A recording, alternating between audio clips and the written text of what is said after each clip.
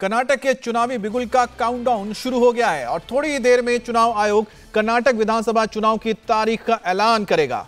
दिल्ली के विज्ञान भवन में आधे घंटे बाद चुनाव आयोग प्रेस कॉन्फ्रेंस करेगा। कर्नाटक विधानसभा चुनाव की तारीखों की घोषणा की जाएगी। तारीखों की घोषणा से पहले ही कर्नाटक के सीएम बसवराज बोम्बई का एक बयान आया है। बसवराज बोम्बई ने कहा कि वो चुनाव के लिए तैयार हैं और बीजेपी एक बार फिर कर्नाटक में सरकार बनाएगी। वहीं कांग्रेस के डीके शिव कुमार ने भी दावा किया है कि इस बार जनता कांग्रेस के हाथों में सत्ता सौंपेगी। कर्नाटक की मौजूदा विधानसभा का कार्यकाल 24 मई को खत्म हो रहा है और उससे पहले राज्य में चुनाव ज़रूरी है। पिछली बार कर्नाटक में मई 2018 में विधानसभा के चुनाव हुए थे। कर्नाटक में साल 2018 के विधानसभा चुनाव में 224 सीटों में से कांग्रेस को 80 सीटें मिली थी, जबकि बीजेपी को 104 सीटें हासिल हुई थी। वहीं जेडीएस के खाते में 37 सीटें आई थी, यानी कि किसी को भी पूर्ण बहुमत नहीं मिला था।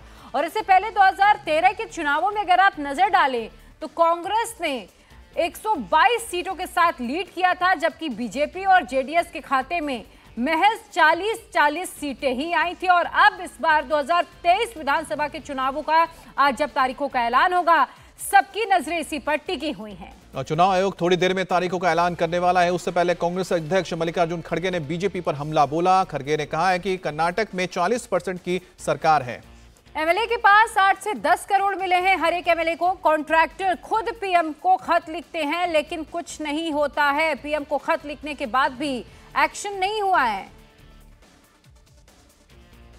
अरे वहाँ तो 40 परसेंट की गवर्नमेंट है, और वो खुद ही उनको मालूम है। एक एक एमएलए के पास आठ आठ करोड़ रुपए मिलते हैं, इन्हों एक्शन नहीं लेते हैं। यहाँ पर अपोजिशन का कोई छोटा मोटा भी मिला है उसको इतना बड़ा बनाते हैं और उसको निकालो, इसको निकालो ईडी को बुलाओ करते हैं। और जिसके पास कुछ भी संपत्ति भी नहीं है, वो अपोजिशन पार्टी को सताते हैं।